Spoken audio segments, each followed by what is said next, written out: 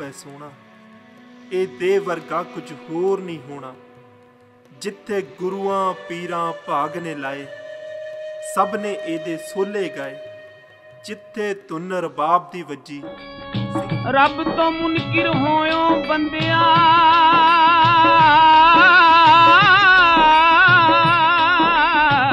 ਦੇਣਾ ਪੈਣਾ ਕੁੱਲ ਹਿਸਾਬ, ਕੀ ਕਹਿੰਦੀ ਉਹਦੀ ਰੱਬੀ ਰਬਾਬ? ਕੀ ਕਹਿੰਦੀ? ਨਾਨਕ ਦੀ ਰਬਾਬ। ਸਿੰਘਾਂ ਦੀ ਕਿਰਪਾਨ ਵੀ ਗੱਜੀ।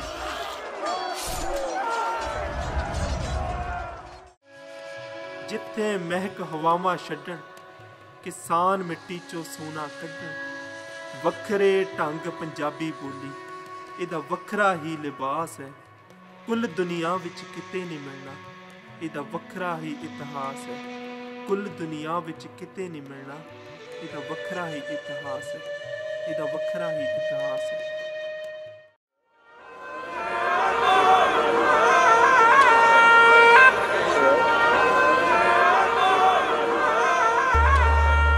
ਸਫਰੇ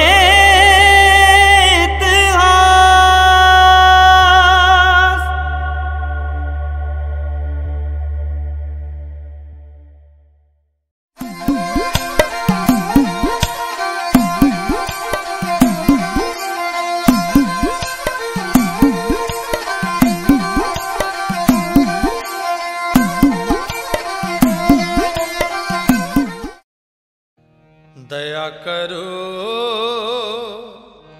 ਨਾਨਕ ਗੁਣ ਗਾਵੇ,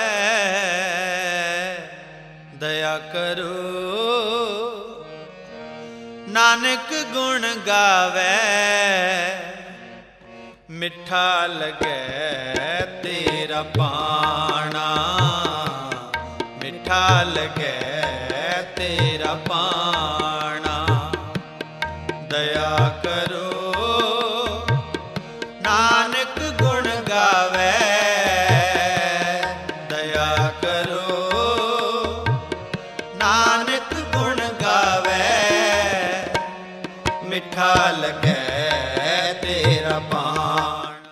ਵਾਹਿਗੁਰੂ ਜੀ ਕਾ ਖਾਲਸਾ ਵਾਹਿਗੁਰੂ ਜੀ ਕੀ ਫਤਿਹ।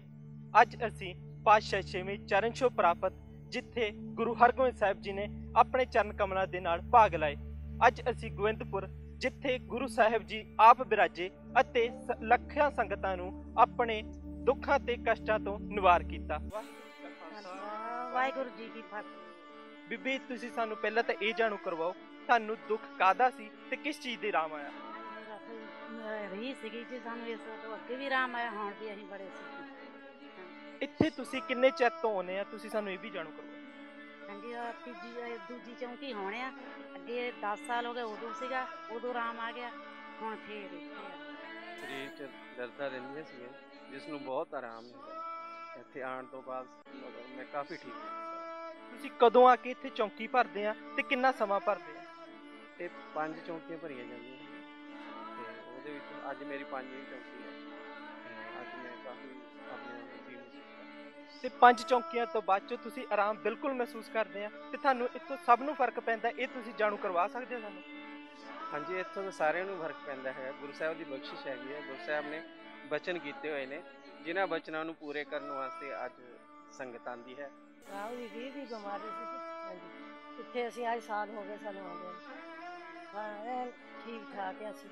ਨੌ ਮਾਣ ਖੁਸ਼ੀ ਤੇ ਹੁਣ ਚੌਂਕੀ ਪਾਣਾ ਸੀ ਨਾ ਕਰਵਾ ਵਾਹਿਗੁਰੂ ਜੀ ਕਾ ਖਾਲਸਾ ਵਾਹਿਗੁਰੂ ਜੀ ਕੀ ਫਤਿਹ। ਬੀਬੀ ਆਪਾਂ ਗੁਰਦੁਆਰਾ ਸਾਹਿਬ ਵਿਖੇ ਮੌਜੂਦ ਆ ਤੁਸੀਂ ਸਾਨੂੰ ਇੱਥੇ ਦੇ ਇਤਿਹਾਸ ਬਾਰੇ ਜਾਣੂ ਕਰਵਾਓਗੇ ਜੀ? ਇੱਥੇ ਗੁਰੂ ਹਰਗੋਬਿੰਦ ਸਾਹਿਬ ਜੀ ਆਏ ਸਨ ਤੇ ਨਨੂਆ ਬੰਸ ਦੇ ਉਹਨਾਂ ਦੇ ਪਰਿਵਾਰ ਨੇ ਉਹਨਾਂ ਦੀ ਬਹੁਤ ਸੇਵਾ ਕੀਤੀ ਸੀ। ਜਲ ਪਾਣੀ ਛਕਾਇਆ ਤੇ ਗੁਰੂ ਸਾਹਿਬ ਉਹਨਾਂ ਤੋਂ ਖੁਸ਼ ਹੋ ਗਏ ਤੇ ਉਹਨਾਂ ਨੇ ਕਿਹਾ ਤੁਸੀਂ ਮੰਗੋ ਕੀ ਚਾਹੁੰਦੇ ਹੋ? ਤੇ ਉਹਨਾਂ ਦੇ ਪਰਿਵਾਰ ਵਿੱਚ ਉਹਨਾਂ ਦੇ ਬਜ਼ੁਰਗਾਂ ਨੂੰ ਇਹ ਵਾਈ ਦਾ ਰੋਗ ਸੀ ਤੇ ਜੋੜਾਂ ਦਾ ਦਰਦ ਸੀ ਤੇ ਉਹਨਾਂ ਨੇ ਕਿਹਾ ਵੀ ਇਹ ਬਜ਼ੁਰਗਾਂ ਨੂੰ ਠੀਕ ਕਰ ਦਿਓ ਤੇ ਗੁਰੂ ਹਰਗੋਬਿੰਦ ਸਾਹਿਬ ਜੀ ਨੇ ਉਸ ਸਮੇਂ ਦਾਤੀ ਕੋਲ ਪਈ ਸੀ, ਉਹ ਦਾਤੀ ਨਾਲ ਹੀ ਉਹਨਾਂ ਦਾ ਤੇ ਦੁੱਖ ਦੂਰ ਕਰਤਾ ਤੇ ਇਹ ਬਚਨ ਕਰਕੇ ਤੇ ਕਹਿੰਦੇ ਜਾਣ ਲੱਗਿਆ ਫਿਰ ਉਹਨਾਂ ਨੇ ਇਹ ਕਿਹਾ ਕਿ ਤੁਹਾਡੇ ਕੋਲ ਲੱਖਾਂ ਲੋਕ ਆਣਗੇ ਤੁਸੀਂ ਵੀ ਇਸੇ ਤਰ੍ਹਾਂ ਵੀ ਦਾਤੀ ਨਾਲ ਫਾਂਡਾ ਕਰਨਾ ਵਾਹਿਗੁਰੂ ਜੀ ਕਾ ਖਾਲਸਾ, ਵਾਹਿਗੁਰੂ ਜੀ ਕੀ ਫਤਿਹ। ਇੱਥੇ ਮੈਂ ਸਤਵੀਂ ਚੌਂਕੀ ਮੈਂ ਆਉਂਦੀ ਹਾਂ, ਮੈਂ ਪਟਿਆਲੇ ਤੋਂ ਆਉਂਦੀ ਹਾਂ। ਤੇ ਮੈਨੂੰ ਬਹੁਤ ਜ਼ਿਆਦੀਆਂ ਦਰਦਾਂ ਸੀ ਡਿਸਕ ਦੀ ਸੀ, ਮੇਰੇ ਰੀਹ ਦੀ ਗਠੀਆ ਵੀ ਹੋ ਗਿਆ ਸੀ। ਮੈਂ 20 ਸਾਲ ਹੋ ਗਏ ਸੀ, ਮੈਂ 12 13 ਲੱਖ ਰੁਪਏ ਆਪਣੇ ਤੇ ਲਾ ਚੁੱਕੀ ਸੀ। ਬਿਲਕੁਲ ਫ਼ਰਕ ਨਹੀਂ ਸੀ ਪੈਂਦਾ। ਇੱਥੇ ਮੈਨੂੰ ਪਹਿਲੀ ਚੌਂਕੀ ਆਣ ਕੇ ਮੈਨੂੰ ਬਹੁਤ ਜ਼ਿਆਦਾ ਫ਼ਰਕ ਪੈ ਗਿਆ।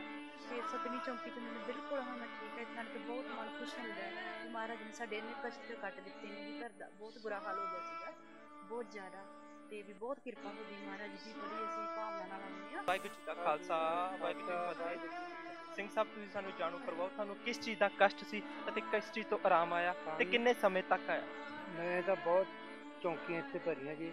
ਜਦ ਮੇਰਾ ਦੁੱਖ ਹਟ ਜਾਂਦਾ ਫਿਰ ਮੈਂ ਇੱਥੇ ਫਿਰ ਪਿੰਡੇ ਰਹਿ ਜਾਂਦਾ। ਜਦ ਫਿਰ ਮੁੜ ਕੇ ਆਉਂਦਾ ਫਿਰ ਫਿਰ ਮੇਰੀ ਇਹ ਪੰਜਵੀਂ ਵੇਰ ਮੈਂ ਇੱਥੇ ਆਇਆ। ਦੁੱਖ ਹਟ ਜਾਂਦਾ ਇੱਥੇ ਸਭ ਕੁਝ ਇਹ ਗੁਰੂ ਦੀ ਬਖਸ਼ਿਸ਼ ਹੋਈ ਜੀ ਵਾਹਿਗੁਰੂ ਜੀ ਕਾ ਖਾਲਸਾ, ਵਾਹਿਗੁਰੂ ਜੀ ਕੀ ਫਤਿਹ। ਤੁਸੀਂ ਵੀ ਸਾਨੂੰ ਸਿੰਘ ਸਾਹਿਬ ਜਾਣੂ ਕਰਵਾਓ, ਤੁਹਾਨੂੰ ਕਿਸ ਚੀਜ਼ ਦਾ ਕਸ਼ਟ ਸੀ ਤੇ ਮਾਰੇ ਨੇ ਕਿੰਨੇ ਚਿਰ ਵਿੱਚ ਤੁਹਾਨੂੰ ਫ਼ਰਕ ਮੈਂ ਮੇਰੀ ਇਹ ਦੂਜੀ ਚੌਂਕੀ ਹੈ ਜੀ। ਮੈਂ ਪਹਿਲੀ ਚੌਂਕੀ ਆਇਆ ਤਾਂ ਮੱਥਾ ਟੇਕਿਆ ਮੈਂ ਲੇਟ ਆਇਆ ਉਦੋਂ। ਸ਼ਾਮ ਨੂੰ ਆਇਆ 5 ਵਜੇ ਤਾਂ ਸਵੇਰੇ ਫਿਰ ਕਰਿਆ ਦੂਜੀ ਬਖਸ਼ ਦੇ ਤਾਂ ਸਵੇਰ ਦੇ ਟਾਈਮ ਤੇ ਕਰਕੇ ਮੈਂ ਚੱਲ ਗਿਆ ਫਿਰ। ਫਿਰ ਮੈਨੂੰ ਦੂਸਰੇ ਦਿਨ ਪਤਾ ਲੱਗ ਗਿਆ, ਸਵੇਰ ਨੂੰ ਮੈਨੂੰ ਫ਼ਰਕ ਹੋ ਗਿਆ ਮੈਨੂੰ। ਮੈਂ ਲੇਟਦਾ ਸੀਗਾ ਮੰਜੇ ਤੇ, ਮੈਂ ਤੁਰ ਨਹੀਂ ਸਕਦਾ ਬੈਠ ਵੀ ਨਹੀਂ ਸਕਦਾ ਤੇ ਹੁਣ ਮੈਂ ਇੰਨਾ ਚਿਰ ਖੜਾ ਹਾਂ ਉਦੋਂ ਵੀ ਫਿਰ ਅਰਦਾਸ 'ਚ ਮੈਂ ਇੱਥੇ ਖੜ ਗਿਆ ਨਹੀਂ ਬੈਠ ਨਹੀਂ ਹੁੰਦਾ ਬੱਤੇ ਤੇ ਹੁਣ ਮੈਂ ਥੋੜਾ ਮਹਿਸੂਸ ਮੈਨੂੰ ਇਹਨਾਂ ਵੀ ਦੁੱਖ ਮੇਰਾ ਘਟਦਾ ਆ। ਹਾਂਜੀ, ਪਰ ਦੂਜੀ ਚੌਂਕੀ ਹੁਣ ਮੇਰੀ ਤੋਂ ਪਹਿਲਾਂ ਤਾਂ ਉਸ ਨਨੂਆ ਪਰਿਵਾਰ ਦਾ ਕਰਾਂਗੇ, ਜਿਸ ਨੂੰ ਮਾਰੇ ਦੀ ਦਿੱਤੀ ਹੋਈ ਬਖਸ਼ ਨੂੰ ਇੰਨਾ ਸੰਭਾਲਿਆ ਅਤੇ ਇੰਨੇ ਪਿਆਰ ਅਤੇ ਸਹਿਜ ਸੁਭਾਅ ਨਾਲ ਅੱਜ ਵੀ ਸੇਵਾ ਨਿਭਾ ਰਹੇ ਆ। ਵਾਹਿਗੁਰੂ ਜੀ ਕਾ ਖਾਲਸਾ, ਵਾਹਿਗੁਰੂ ਜੀ ਕੀ ਫਤਿਹ। ਅੱਜ ਅਸੀਂ ਤੁਹਾਨੂੰ ਜਾਣੂ ਕਰਵਾਵਾਂਗੇ, ਇਹ ਉਹ ਸੰਗਤ ਹੈ ਜਿਹੜੇ ਨਨੂਆ ਪਰਿਵਾਰ ਦੀ ਵੰਸ਼ ਵਿੱਚੋਂ ਉਹਨਾਂ ਦੇ ਪੁੱਤਰ ਸਪੁੱਤਰ ਅਤੇ ਪੋਤਿਆਂ ਦੀ ਹੀ ਵੰਸ਼ ਹੈ, ਉਹਨਾਂ ਦਾ ਹੀ ਰੂਪ ਹੈ। ਅਤੇ ਉਹਨਾਂ ਤੋਂ ਹੀ ਅਸੀਂ ਜਾਣੂ ਹੋਵਾਂਗੇ ਕਿ ਗੁਰਦੁਆਰਾ ਸਾਹਿਬ ਦਾ ਇਤਿਹਾਸ ਕੀ ਹੈ ਤੇ ਇਹਨਾਂ ਦੇ ਬਜ਼ੁਰਗਾਂ ਨੂੰ ਕਿਵੇਂ ਮਾਰੇ ਨੇ ਇਹ ਬਖਸ਼ਿਸ਼ ਬਖਸ਼ੀ। ਵਾਹਿਗੁਰੂ ਜੀ ਕਾ ਖਾਲਸਾ, ਵਾਹਿਗੁਰੂ ਜੀ ਕੀ ਫਤਿਹ। ਮੇਰਾ ਨਾਮ ਅਮਰੀਕ ਸਿੰਘ ਹੈ ਜੀ। ਮੈਂ ਇਸ ਵੇਲੇ ਗੁਰੂ ਘਰ ਵਿੱਚ ਸੈਕਟਰੀ ਕੰਮ ਕਰ ਰਿਹਾ, ਸੇਵਾ ਕਰ ਰਿਹਾ। ਤੇ ਜਿਸ ਤਰ੍ਹਾਂ ਸਾਡੇ ਬਜ਼ੁਰਗਾਂ ਤੋਂ ਸਾਨੂੰ ਪਤਾ ਲੱਗਾ ਇਤਿਹਾਸ ਬਾਰੇ ਗੁਰਦੁਆਰਾ ਸਾਹਿਬ ਦੇ, ਤੇ ਗੁਰੂ ਹਰਗੋਬਿੰਦ ਸਾਹਿਬ ਪਾਤਸ਼ਾਹ ਜੀ ਸਾਡੇ ਨਗਰ ਵਿਖੇ ਆਏ ਸਨ। ਪਹਿਲਾਂ ਸਾਡੇ ਪਿੰਡ ਦਾ ਨਾਮ ਸਲੀਮਪੁਰ ਸੀ। ਤੇ ਗੁਰੂ ਜੀ ਦੇ ਆਉਣ ਤੇ ਹੀ ਇਸ ਪਿੰਡ ਦਾ ਨਾਮ ਬਦਲ ਕੇ ਗੁਰੂ ਜੀ ਦੇ ਨਾਮ ਤੇ ਗੋਬਿੰਦਪੁਰ ਰੱਖਿਆ ਗਿਆ ਜੀ। ਸਿੰਘ ਸਾਹਿਬ ਤੁਸੀਂ ਸਾਨੂੰ ਸਭ ਤੋਂ ਪਹਿਲਾਂ ਤਾਂ ਇਸ ਚੀਜ਼ ਬਾਰੇ ਜਾਣੂ ਕਰਵਾਓ ਕਿਉਂਕਿ ਕਈ ਸੰਗਤ ਤੋਂ ਮੈਂ ਪੁੱਛਿਆ ਉਹ ਇਸ ਨੂੰ ਚੌਂਕੀ ਦਾ ਨਾਮ ਦਿੰਦੇ ਹੈ। ਤੁਸੀਂ ਮੈਨੂੰ ਚੌਂਕੀ ਸ਼ਬਦ ਦੇ ਪੂਰਾ ਹੀ ਪਰਿਭਾਸ਼ਾ ਦਿਓ ਵੀ ਇੱਥੇ ਸੰਗਤ ਚੌਂਕੀ ਨਾਮ ਕਿਉਂ ਦਿੰਦੀ ਹੈ। ਇਸ ਇਸ ਕਰਕੇ ਕਹਿੰਦੀ ਜਿੱਦਾਂ ਸ਼ਨੀਵਾਰ ਨੂੰ ਸਵੇਰੇ ਦੇ ਟਾਈਮ ਸ਼ਨੀਵਾਰ ਨੂੰ ਸ਼ਾਮ ਦੇ ਟਾਈਮ ਤੇ ਐਤਵਾਰ ਸ- ਸਵੇਰ ਦੇ ਟਾਈਮ ਤਿੰਨ ਟਾਈਮ ਫਾਂਡਾ ਕੀਤਾ ਜਾਂਦਾ, ਦਾਤੀ ਦਾਤੀ ਸਰੀਰ ਨਾਲ ਛੁਆ ਕੇ ਧਰਤੀ ਤੇ ਲਾਈ ਜਾਂਦੀ ਹੈ। ਜਿਸ ਨਾਲ ਜਿਹੜੇ ਰੀਹ ਦੇ ਦਰਦਾਂ ਦੇ ਦੁਖੀ ਆਂਦੇ ਆ ਵਾਏਬਾਦੀ ਦੇ ਦੁਖੀ ਬਜ਼ੁਰਗ ਆਂਦੇ ਆ, ਸੰਗਤ ਆਂਦੀ ਆ ਉਹਨਾਂ ਨੂੰ ਬਹੁਤ ਆਰਾਮ ਮਿਲਦਾ ਹੈ। ਗੁਰੂ ਜੀ ਸਿਰਫ ਸਾਡਾ ਇੱਥੇ, ਇਸ ਵਿੱਚ ਕੁਝ ਰੋਲ ਨਹੀਂ ਹੈ। ਅਸੀਂ ਤਾਂ ਇਹ ਸਿਰਫ ਬਚਨ ਚੱਲ ਰਹੇ ਆ। ਗੁਰੂ ਗੋਬਿੰਦ ਸਾਹਿਬ ਗੁਰੂ ਹਰਗੋਬਿੰਦ ਸਾਹਿਬ ਪਾਤਸ਼ਾਹ ਜੀ ਦੇ ਜਿਨ੍ਹਾਂ ਨੇ ਨਨੂਆ ਗੋਤ ਨੂੰ ਇਹ ਦਾਤ ਬਖਸ਼ਿਸ਼ ਕੀਤੀ। ਠੀਕ ਹੈ ਜੀ? ਇਸ ਵਿੱਚ ਕੋਈ ਵੀ ਮਾਰੇ ਨੇ ਇੱਕ ਉਮਰ ਨੂੰ ਗੁਣ ਬਖਸ਼ਿਆ ਕਿ ਕੋਈ ਵੀ ਬੱਚਾ ਬਜ਼ੁਰਗ ਅਤੇ ਜਵਾਨ ਕੋਈ ਵੀ ਕਰ ਸਕਦਾ ਹੈ। ਨਹੀਂ ਨਨੂਆ ਗੋਤ ਦਾ ਕੋਈ ਵੀ ਵਿਅਕਤੀ ਬਜ਼ੁਰਗ ਬੱਚਾ ਕੋਈ ਵੀ ਕਰ ਸਕਦਾ ਹੈ। ਇਸ ਵਿੱਚ ਕੋਈ ਬੰਦਿਸ਼ ਨਹੀਂ ਹੈ ਕਿ ਬਜ਼ੁਰਗ ਹੀ ਕਰੇਗਾ ਜਾਂ ਜਵਾਨ ਕਰੇਗਾ। ਬੱਚਾ ਤੱਕ ਵੀ ਕਰ ਸਕਦਾ ਹੈ। ਤੇ ਇੱਥੇ ਦੀਆਂ ਮਾਤਾ ਅਤੇ ਭੈਣਾਂ ਨੂੰ ਵੀ ਇਹ ਬਖਸ਼ਿਸ਼ ਹੈ ਕਿ ਉਹ ਵੀ ਕਰ ਸਕਦੇ ਨਹੀਂ ਸਿਰਫ ਇਹ ਮਰਦਾਂ ਨੂੰ ਹੀ। ਤੁਸੀਂ ਸਾਨੂੰ ਇਹ ਵੀ ਜਾਣੂ ਕਰਵਾਓ ਇੱਥੇ ਜਦੋਂ ਤੁਸੀਂ ਇਹ ਫਾਂਡਾ ਕਰਦੇ ਆ ਤੇ ਕਿੰਨੀ ਭੇਟਾ ਲੈਂਦੇ ਆ? ਨਹੀਂ ਅਸੀਂ ਇੱਥੇ ਕੋਈ ਭੇਟਾ ਨਹੀਂ ਲੈਂਦੇ ਜੀ। ਸਿਰਫ ਸਤਨਾਮ ਵਾਹਿਗੁਰੂ ਦਾ ਜਾਪ ਕਰਦੇ ਹਾਂ ਤੇ ਜੇ ਦਾਤੀ ਸ੍ਰੀ ਨਾਲ ਲਵਾ ਕੇ ਥੱਲੇ ਧਰਤੀ ਨਾਲ ਛੁਆ ਕੇ ਵਾਹਿਗੁਰੂ ਜੀ ਕਾ ਖਾਲਸਾ ਵਾਹਿਗੁਰੂ ਜੀ ਕੀ ਫਤਿਹ। ਸਫਰੇ ਇਤਿਹਾਸ ਦੀ ਉਸ ਹੀ ਕੜੀ ਨੂੰ ਜੋੜਦੇ ਹੋਏ ਹੁਣ ਅਸੀਂ ਗੋਬਿੰਦਪੁਰ ਸਾਹਿਬ ਪਹੁੰਚੇ ਹਾਂ ਅਤੇ ਉਸ ਦੇ ਇਤਿਹਾਸ ਦੀ ਪੂਰੀ ਜਾਣਕਾਰੀ ਭਾਈ ਸਾਹਿਬ ਪਾਸੋਂ ਲਵਾਂਗੇ। ਸਿੰਘ ਸਾਹਿਬ ਤੁਸੀਂ ਸਾਨੂੰ ਇਤਿਹਾਸ ਦੀ ਪੂਰੀ ਜਾਣਕਾਰੀ ਦਿਓ ਪਹਿਲਾਂ ਗੱਜ ਕੇ ਫਤਿਹ ਪ੍ਰਵਾਨ ਕਰਨੀ ਜੀ। ਵਾਹਿਗੁਰੂ ਜੀ ਕਾ ਖਾਲਸਾ, ਵਾਹਿਗੁਰੂ ਜੀ ਕੀ ਫਤਿਹ। ਸਤਿਗੁਰੂ ਮੇਰੀ ਪੀਰੀ ਦੇ ਮਾਲਕ, ਛੇਵੇਂ ਪਾਤਸ਼ਾਹ ਗੁਰੂ ਹਰਗੋਬਿੰਦ ਸਾਹਿਬ ਜੀ ਮਹਾਰਾਜ ਜੀ। ਜਿਨ੍ਹਾਂ ਦੀ ਚਰਨ ਛੋਹ ਪ੍ਰਾਪਤ ਇਹ ਸਥਾਨ ਹੈ, ਤੇ ਅਸਲ ਵਿੱਚ ਜਿਹੜਾ ਇਹ ਨਗਰ ਦਾ ਨਾਮ ਹੈ, ਇਹ ਵੀ ਉਹਨਾਂ ਦੇ ਨਾਮ ਤੇ ਹੀ ਪਿਆ ਹੈ। ਪਹਿਲਾਂ ਇਸ ਦਾ ਨਾਮ ਸਲੇਮਪੁਰ ਸੀ ਨਗਰ ਦਾ, ਤੇ ਸਤਿਗੁਰੂ ਜੀ ਜਦੋਂ ਇਸ ਨਗਰ ਦੇ ਵਿੱਚ ਆਏ ਤੇ ਉਸ ਸਮੇਂ ਤੋਂ ਹੀ ਉਹਨਾਂ ਦੇ ਨਾਮ ਤੇ ਹੀ ਨਗਰ ਦਾ ਨਾਮ ਗੋਬਿੰਦਪੁਰ ਰੱਖ ਦਿੱਤਾ ਗਿਆ। ਜਿਸ ਸਮੇਂ ਸਤਿਗੁਰੂ ਜੀ ਇਸ ਨਗਰ ਵਿੱਚ ਆਏ ਬੇਅੰਤ ਸੰਗਤਾਂ ਨਾਲ ਨੇ, ਇਸ ਨਗਰ ਦੇ ਵਿੱਚ ਡੇਰਾ ਲਾਇਆ ਗਿਆ। ਇਸੇ ਨਗਰ ਦੇ ਇੱਕ ਵਸਨੀਕ ਪਰਿਵਾਰ ਨੂੰ ਜਦੋਂ ਪਤਾ ਲੱਗਾ ਕਿ ਮੀਰੀ ਪੀਰੀ ਦੇ ਮਾਲਕ ਗੁਰੂ ਹਰਗੋਬਿੰਦ ਸਾਹਿਬ ਜੀ ਮਹਾਰਾਜ ਜੀ ਆਪਣੇ ਨਗਰ ਦੇ ਵਿੱਚ ਆਏ ਹਨ, ਤੇ ਇਸ ਪਰਿਵਾਰ ਨੇ ਆਪਣੇ ਵੱਡੇ ਭਾਗ ਜਾਣਦੇ ਹੋਏ ਸਮੁੱਚੇ ਹੀ ਪਰਿਵਾਰ ਨੇ ਸਤਿਗੁਰੂ ਜੀ ਦੇ ਪਾਵਨ ਚਰਨਾਂ ਵਿੱਚ ਆ ਹਾਜ਼ਰੀ ਲਵਾਈ। ਸਤਿਗੁਰੂ ਜੀ ਦੀ ਅਤੇ ਸਤਿਗੁਰੂ ਜੀ ਦੇ ਨਾਲ ਆਈਆਂ ਹੋਈਆਂ ਸੰਗਤਾਂ ਦੀ ਜਲ ਪਾਣੀ ਆਦਿਕ ਦੇ ਨਾਲ ਸੇਵਾ ਕਰਨੀ ਆਰੰਭ ਕਰ ਦਿੱਤੀ। ਹੁਣ ਇਹ ਪਰਿਵਾਰ ਆਪਣੇ ਨਾਲ ਆਪਣੇ ਬਜ਼ੁਰਗਾਂ ਨੂੰ ਵੀ ਲੈ ਕੇ ਆਇਆ। ਦੱਸਿਆ ਜਾਂਦਾ ਇਹ ਬਜ਼ੁਰਗ ਜਿਨ੍ਹਾਂ ਦੇ ਸਰੀਰ ਦੇ ਵਿੱਚ ਅਤੇ ਜੋੜਾਂ ਦੇ ਵਿੱਚ ਦਰਦ ਹੁੰਦਾ ਸੀ ਤੇ ਇੰਨਾ ਦਰਦ ਹੁੰਦਾ ਸੀ ਕਿ ਉਹ ਬਜ਼ੁਰਗ ਚੱਲਣ ਫਿਰਨ ਤੋਂ ਵੀ ਅਸਮਰੱਥ ਸਨ। ਸਤਿਗੁਰੂ ਜੀ ਦੇ ਸਨਮੁਖ ਬਜ਼ੁਰਗਾਂ ਨੂੰ ਬਿਠਾ ਦਿੱਤਾ ਗਿਆ।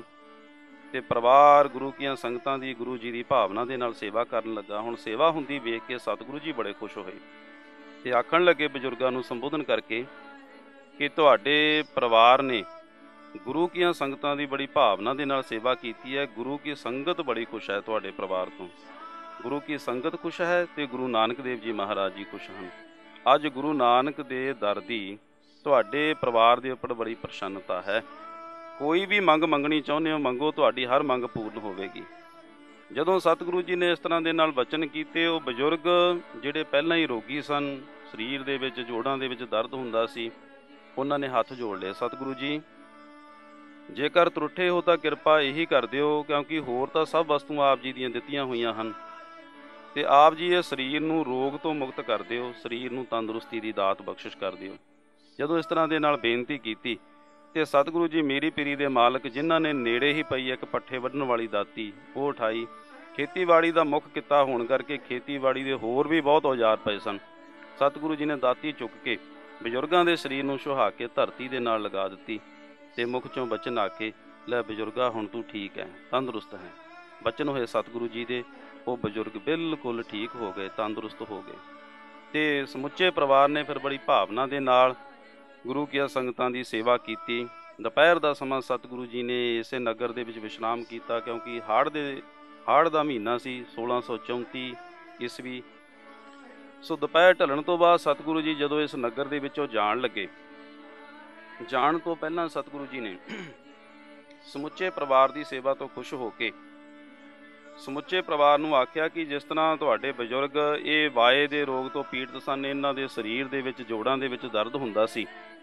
ਇਸੇ ਤਰ੍ਹਾਂ ਹੀ ਬਹੁਤ ਸੰਗਤਾਂ ਚੱਲ ਕੇ ਤੁਹਾਡੇ ਪਾਸ ਆਵਣਗੀਆਂ, ਜਿਨ੍ਹਾਂ ਦੇ ਸਰੀਰ ਦੇ ਵਿੱਚ, ਜੋੜਾਂ ਦੇ ਵਿੱਚ ਦਰਦ ਹੁੰਦਾ ਹੋਵੇਗਾ। ਤੇ ਤੁਸੀਂ ਉਹਨਾਂ ਆਈਆਂ ਹੋਈਆਂ ਸੰਗਤਾਂ ਦੇ ਸਰੀਰ ਨੂੰ ਦਾਤੀ ਸੁਹਾ ਕੇ ਧਰਤੀ ਦੇ ਨਾਲ ਲਗਾ ਦੇਣੀ ਹੈ। ਤੇ ਉਹ ਟਾਸਰਾ ਤੱਕਣਾ ਗੁਰੂ ਨਾਨਕ ਦੇਵ ਜੀ ਮਹਾਰਾਜ ਜੀ ਦਾ। ਉਹ ਆਈਆਂ ਹੋਈਆਂ ਸੰਗਤਾਂ ਤੁਹਾਡੇ ਪਾਸੋਂ ਸਤਿਗੁਰੂ ਜੀ ਦੀ ਕਿਰਪਾ, ਸਦਕਾ ਤੰਦਰੁਸਤ ਹੋ ਕੇ ਘਰਾਂ ਨੂੰ ਵਾਪਸ ਜਾਵਣਗੀਆਂ। ਤੇ ਨਾਲ ਹੀ ਆਖਣ ਲੱਗੇ ਕਿ ਇਹ ਜਿਹੜੀ ਦਾਤੀ ਹਿਲਾਉਣ ਦੀ ਸੇਵਾ ਤੁਹਾਡੇ ਪਰਿਵਾਰ ਦੇ ਵਿੱਚੋਂ ਕੋਈ ਵੀ ਨਿਭਾ ਸਕਦਾ, ਬੱਚਾ, ਨੌਜਵਾਨ ਭਾਵੇਂ ਬਜ਼ੁਰਗ ਹੋਵੇ। ਤੇ ਜਦੋਂ ਤੱਕ ਇਹ ਤੁਹਾਡੀ ਵੰਸ਼ ਚੱਲੇਗੀ, ਇਸੇ ਤਰ੍ਹਾਂ ਸੇਵਾ ਹੁੰਦੀ ਰਹੇਗੀ। ਸੰਗਤਾਂ ਤੁਹਾਡੇ ਪਾਸ ਆਉਂਦੀਆਂ ਰਹਿਣਗੀਆਂ ਤੇ ਇਸੇ ਤਰ੍ਹਾਂ ਤੰਦਰੁਸਤੀ ਦੀ ਦਾਤ ਪ੍ਰਾਪਤ ਕਰਕੇ ਘਰਾਂ ਨੂੰ ਵਾਪਸ ਜਾਵਣਗੀਆਂ। ਇਹ ਬਚਨ ਕਰਕੇ ਮੀਰੀ ਪੀਰੀ ਦੇ ਮਾਲਕ ਗੁਰੂ ਹਰਗੋਬਿੰਦ ਸਾਹਿਬ ਜੀ ਮਹਾਰਾਜ ਜੀ ਇਸ ਨਗਰ ਦੇ ਵਿੱਚੋਂ ਚਲੇ ਗਏ ਤੇ ਉਹਨਾਂ ਦੇ ਇਹਨਾਂ ਬਚਨਾਂ ਦਾ ਪ੍ਰਤਾਪ ਹੈ, ਬਰਕਤ ਹੈ ਕਿ ਅੱਜ ਬਹੁਤ ਸੰਗਤ ਇਸ ਨਗਰ ਦੇ ਵਿੱਚ ਆਉਂਦੀ ਹੈ। ਜਿਹੜੀ ਸੰਗਤ ਵਾਏ ਦੇ ਰੋਗ ਤੋਂ ਪੀੜਤ ਹੁੰਦੀ ਹੈ, ਜਿਨ੍ਹਾਂ ਸੰਗਤਾਂ ਦੇ ਸਰੀਰ ਦੇ ਵਿੱਚ, ਜੋੜਾਂ ਦੇ ਵਿੱਚ ਦਰਦ ਹੁੰਦਾ, ਦਾਸ ਨੂੰ ਵੀ ਬਹੁਤ ਲੰਬਾ ਸਮਾਂ ਹੋ ਗਿਆ ਇਸੇ ਸੇਵਾ ਨਿਭਾਉਂਦਿਆਂ ਨੂੰ, ਲਗਭਗ 10 ਸਾਲ ਹੋ ਗਏ, ਤੇ ਇਹਨਾਂ ਅੱਖਾਂ ਦੇ ਨਾਲ ਵੀ ਬਹੁਤ ਸੰਗਤ ਨੂੰ ਵੇਖਿਆ ਜਿਹੜੀ ਸੰਗਤ ਇੱਥੋਂ ਠੀਕ ਹੋ ਕੇ ਗਈ ਹੈ। ਉਹ ਸੰਗਤਾਂ ਜਿਨ੍ਹਾਂ ਦਾ ਰੋਗ ਇਹ ਬਹੁਤ ਵੱਧ ਜਾਂਦਾ। ਸੰਗਤਾਂ ਤੋਂ ਤੁਰ ਫਿਰ ਨਹੀਂ ਹੁੰਦਾ। ਸੰਗਤਾਂ ਮੁੱਦੇ ਮੁੱਦੇ ਹੋ ਕੇ ਤੁਰਦੀਆਂ ਨੇ। ਤੇ ਇੰਨਾ ਰੋਗ ਵੱਧ ਜਾਂਦਾ, ਬਹੁਤੀਆਂ ਸੰਗਤਾਂ ਤਾਂ ਮੰਜੇ ਤੇ ਪੈ ਜਾਂਦੀਆਂ ਨੇ, ਮੰਜੇ ਤੋਂ ਉੱਠ ਕੇ ਜਦੋਂ ਪਾਵਨ ਦਰਬਾਰ ਦੇ ਵਿੱਚ ਵੀ ਲਿਆਇਆ ਜਾਂਦਾ ਤੇ ਚੁੱਕ ਕੇ ਲਿਆਇਆ ਜਾਂਦਾ, ਤੇ ਉਹਨਾਂ ਸੰਗਤਾਂ ਨੂੰ ਫਿਰ ਇਹ ਨਨੂਆ ਪਰਿਵਾਰ ਦੇ ਵਿਅਕਤੀ ਆਈਆਂ ਹੋਈਆਂ ਸੰਗਤਾਂ ਨੂੰ ਬੜੀ ਭਾਵਨਾ ਦੇ ਨਾਲ ਸੇਵਾ ਕਰਦੇ ਨੇ, ਦਾਤੀ ਸਰੀਰ ਨੂੰ ਲਗਾ ਕੇ ਧਰਤੀ ਦੇ ਨਾਲ ਲਗਾਈ ਜਾਂਦੀ ਹੈ। ਇਹ ਸੇਵਾ ਹੋਣ ਤੋਂ ਬਾਅਦ ਸਤਿਗੁਰੂ ਜੀ ਦੀ ਕਿਰਪਾ ਹੋ ਜਾਂਦੀ ਹੈ। ਸਤਿਗੁਰੂ ਜੀ ਆਈਆਂ ਹੋਈਆਂ ਸੰਗਤਾਂ ਨੂੰ ਤੰਦਰੁਸਤੀ ਦੀ ਦਾਤ ਬਖਸ਼ਿਸ਼ ਕਰ ਦਿੰਦੇ ਹਨ। ਸੋ ਇੱਥੇ ਜਿਹੜੀ ਇਹ ਸੇਵਾ ਕੀਤੀ ਜਾਂਦੀ ਹੈ, ਨਗਰ ਨਿਵਾਸੀ ਸੰਗਤਾਂ ਨੇ ਇਹ ਵੀ ਸਮਾਂ ਤੈਅ ਕੀਤਾ ਹੋਇਆ ਸ਼ਨੀਚਰਵਾਰ ਸਵੇਰੇ ਅੰਮ੍ਰਿਤ ਵੇਲੇ, ਫਿਰ ਸ਼ਨੀਚਰਵਾਰ ਸ਼ਾਮ ਨੂੰ, ਫਿਰ ਐਤਵਾਰ ਸਵੇਰੇ ਅੰਮ੍ਰਿਤ ਵੇਲੇ। ਇਹ ਤਿੰਨ ਸਮੇਂ ਸੇਵਾ ਕੀਤੀ ਜਾਂਦੀ ਹੈ ਦਾਤੀ ਦੇ ਨਾਲ। ਇਸੇ ਤਰ੍ਹਾਂ ਪੰਜ ਹਫ਼ਤੇ ਆਪ ਸੰਗਤਾਂ ਨੇ ਹਾਜ਼ਰੀਆਂ ਲਵਾਉਣੀਆਂ ਨੇ, ਪੰਜ ਸ਼ਨੀਚਰਵਾਰ ਅਤੇ ਪੰਜ ਐਤਵਾਰ। ਜਿਹੜੀ ਸੰਗਤ ਦੂਰ ਤੋਂ ਆਉਂਦੀ ਹੈ, ਉਹ ਸੰਗਤ ਸ਼ਨੀਚਰਵਾਰ ਸਵੇਰੇ ਅੰਮ੍ਰਿਤ ਵੇਲੇ ਟਾਈਮ ਤੇ ਪਹੁੰਚ ਨਹੀਂ ਸਕਦੀ। ਇਸ ਕਰਕੇ ਉਹ ਸੰਗਤ ਸ਼ੁੱਕਰਵਾਰ ਸ਼ਾਮ ਨੂੰ ਆ ਜਾਂਦੀ ਹੈ। ਸ਼ੁੱਕਰਵਾਰ ਦੀ ਰਾਤ, ਸਨਿਚਰਵਾਰ ਦੀ ਰਾਤ ਸੰਗਤ ਇਸੇ ਪਾਵਨ ਸਥਾਨ ਤੇ ਫਿਰ ਵਿਸ਼ਰਾਮ ਕਰਦੀ ਹੈ। ਤੇ ਉਹਨਾਂ ਸੰਗਤਾਂ ਵਾਸਤੇ ਹਰ ਤਰ੍ਹਾਂ ਦਾ ਪ੍ਰਬੰਧ ਕੀਤਾ ਜਾਂਦਾ ਗੁਰਦੁਆਰਾ ਸਾਹਿਬ ਪ੍ਰਬੰਧਕ ਕਮੇਟੀ ਵੱਲੋਂ ਅਤੇ ਸਮੂਹ ਸੰਗਤਾਂ ਦੇ ਸਹਿਯੋਗ ਸਦਕਾ, ਨਗਰ ਨਿਵਾਸੀ ਸੰਗਤਾਂ ਦੇ ਸਹਿਯੋਗ ਸਹਿਯੋਗ ਸਦਕਾ, ਲੰਗਰਾਂ ਦਾ ਪ੍ਰਬੰਧ, ਬਿਸਤਰਿਆਂ ਦਾ ਪ੍ਰਬੰਧ, ਰਹਿائش ਦਾ ਪ੍ਰਬੰਧ ਕੀਤਾ ਜਾਂਦਾ। ਸੰਗਤ ਤੋਂ ਕੁਝ ਵੀ ਨਹੀਂ ਲਿਆ ਜਾਂਦਾ, ਕਈ ਵਾਰ ਮਨ ਦੇ ਵਿੱਚ ਇਹ ਸ਼ੰਕਾ ਪੈਦਾ ਹੋ ਜਾਂਦਾ, ਜਿਸ ਤਰ੍ਹਾਂ ਦਾਤੀ ਦੇ ਨਾਲ ਸੇਵਾ ਕੀਤੀ ਜਾਂਦੀ ਹੈ। ਆਮ ਤੌਰ ਤੇ ਪਿੰਡਾਂ ਦੇ ਵਿੱਚ ਫਾਂਡੇ ਕੀਤੇ ਜਾਂਦੇ ਨੇ ਇਸ ਤਰ੍ਹਾਂ ਦੇ ਨਾਲ ਤੇ ਉਹ ਪੈਸੇ ਵੀ ਲੈਂਦੇ ਨੇ, ਉਹਨਾਂ ਦਾ ਕੋਈ ਮੰਤਰ ਵੀ ਸਿੱਧ ਕੀਤਾ ਹੁੰਦਾ, ਪਰ ਇੱਥੇ ਇਹੋ ਜੀ ਕੋਈ ਗੱਲ ਨਹੀਂ। ਇਹ ਜਿਹੜੇ ਸੇਵਾ ਕਰਦੇ ਨੇ, ਇਹਨਾਂ ਨੇ ਸਿਰਫ ਗੁਰਮੰਤਰ ਤੇ ਮੂਲ ਮੰਤਰ ਦਾ ਅਭਿਆਸ ਕਰਨਾ ਤੇ ਜਿਹੜੀਆਂ ਸੰਗਤਾਂ ਇਹ ਸੇਵਾ ਕਰਵਾਉਂਦੀਆਂ ਨੇ ਦਾਤੀ ਦੇ ਨਾਲ, ਇਹਨਾਂ ਨੇ ਵੀ ਗੁਰਮੰਤਰ ਤੇ ਮੂ- ਮੂਲ ਮੰਤਰ ਦਾ। ਤੇ ਇਹ ਜਿਹੜੀਆਂ ਆਈਆਂ ਹੋਈਆਂ ਸੰਗਤਾਂ ਨੇ, ਇਹਨਾਂ ਤੋਂ ਕੋਈ ਵੀ ਕਿਸੇ ਪ੍ਰਕਾਰ ਦਾ ਪੈਸਾ ਨਹੀਂ ਲਿਆ ਜਾਂਦਾ, ਸਿਰਫ ਫ੍ਰੀ ਸੇਵਾ ਕੀਤੀ ਜਾਂਦੀ ਹੈ ਤੇ ਸੰਗਤਾਂ ਆਉਂਦੀਆਂ ਨੇ ਇਸ ਪਾਵਨ ਸਥਾਨ ਤੇ, ਹਾਜ਼ਰੀ ਭਰਦੀਆਂ ਨੇ ਸਤਿਗੁਰੂ ਜੀ ਦੀ ਬਖਸ਼ਿਸ਼ ਪ੍ਰਾਪਤ ਕਰਕੇ, ਇੱਥੋਂ ਤੰਦਰੁਸਤੀ ਦੀ ਦਾਤ ਪ੍ਰਾਪਤ ਕਰਕੇ ਸੰਗਤਾਂ ਘਰਾਂ ਨੂੰ ਵਾਪਸ ਜਾਂਦੀਆਂ ਹਨ। ਸੋ ਪਾਵਨ ਸਥਾਨ ਗੁਰੂ ਹਰਗੋਬਿੰਦ ਸਾਹਿਬ ਜੀ ਮਹਾਰਾਜ ਜੀ ਦਾ ਅਤੁੱਟ ਕਿਰਪਾ ਇਸ ਪਾਵਨ ਸਥਾਨ ਤੇ ਵਰਤ ਰਹੀ ਹੈ। ਜਿਹੜੀਆਂ ਸੰਗਤਾਂ ਆਉਂਦੀਆਂ ਨੇ ਫਿਰ ਜਿਨ੍ਹਾਂ ਨੂੰ ਆਰਾਮ ਆ ਜਾਂਦਾ, ਫਿਰ ਦੋ ਜਾਂ ਤਿੰਨ ਹਫ਼ਤੇ ਬਾਅਦ ਜਦੋਂ ਸੰਗਤਾਂ ਸ਼ੁਕਰਾਨਿਆਂ ਕਰਨ ਵਾਸਤੇ ਪਾਵਨ ਸਥਾਨ ਤੇ ਪਹੁੰਚਦੀਆਂ ਨੇ, ਉਹ ਆਈਆਂ ਹੋਈਆਂ ਸੰਗਤਾਂ ਫਿਰ ਦੱਸਦੀਆਂ ਨੇ ਕਿ ਅਸੀਂ ਇਸ ਪਾਵਨ ਸਥਾਨ ਤੇ ਆਏ ਸੀ। ਪਹਿਲਾਂ ਇਸ ਰੋਗ ਤੋਂ ਪੀੜਤ ਸੀ ਤੇ ਹਾਜ਼ਰੀ ਭਰਨ ਤੋਂ ਬਾਅਦ ਫਿਰ ਅਸੀਂ ਤੰਦਰੁਸਤ ਹੋਏ ਆ ਤੇ ਦੱਸਦੇ ਨੇ ਕਿ ਸਾਨੂੰ ਅਸਲ ਦੇ ਵਿੱਚ ਜੀਵਨ ਹੀ ਇਸ ਪਾਵਨ ਸਥਾਨ ਤੋਂ ਮਿਲਿਆ। ਇਸ ਤਰ੍ਹਾਂ ਦੀ ਭਾਵਨਾ ਸੰਗਤ ਦੀ ਬਣ ਚੁੱਕੀ ਹੈ। ਸੰਗਤ ਬਹੁਤ ਪ੍ਰੇਮ ਕਰਦੀ ਹੈ। ਪਾਵਨ ਸਥਾਨ ਦੇ ਨਾਲ, ਪ੍ਰੇਮ ਦੇ ਨਾਲ ਆਉਂਦੀ ਹੈ।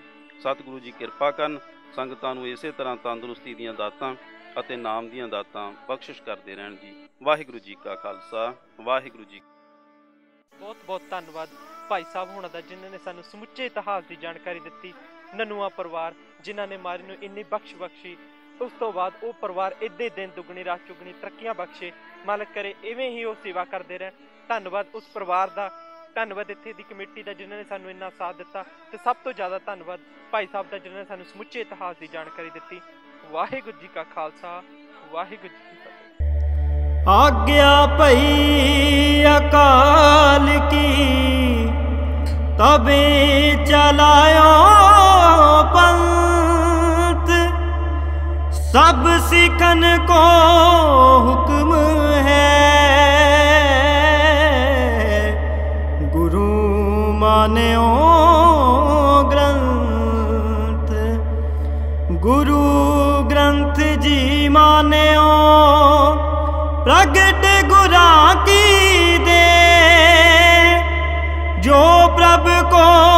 ਮਿਲੇ ਵੋਚ ਹੈ ਖੋਜ ਸ਼ਬਦ ਮੈਲੇ ਰਾਜ ਕਰੇਗਾ ਖਾਲਸਾ ਆਕੀ ਰਹਿ ਨਾ ਕੋਇ ਕੁਆਰ ਹੋਏ ਸਭ ਮਿਲੇਗੇ ਬਚੇ ਸ਼ਰਨ ਜੋ